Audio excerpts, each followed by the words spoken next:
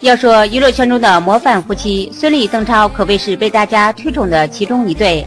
不仅在家庭中幸福美满，而且在事业上也是风生水起。一个稳居电视剧一姐位置，一个在娱乐圈和电影圈混得风生水起，而且在娱乐圈中也是人脉甚广。邓超，一九七九年出生于江西，中国内地男演员。一九九八年考入中央戏剧学院表演系。毕业后主演情景喜剧《欢乐青春》，踏入娱乐圈。之后在《少年天子》中饰演顺治皇帝，被观众熟知。而当年这部剧，邓超和浩磊也因此结缘并相爱。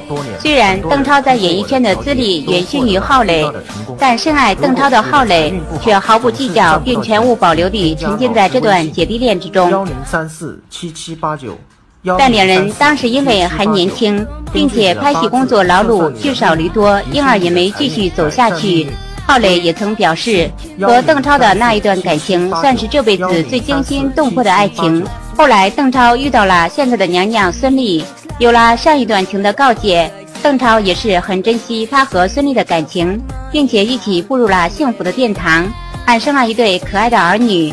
而浩磊在经历过一段失败的婚姻之后，也遇到了对的人，嫁给了一个圈外人。婚后的两人非常甜蜜幸福，还生下了双胞胎。现在三十九岁的浩磊身材却没有走样，人也越来有女人味。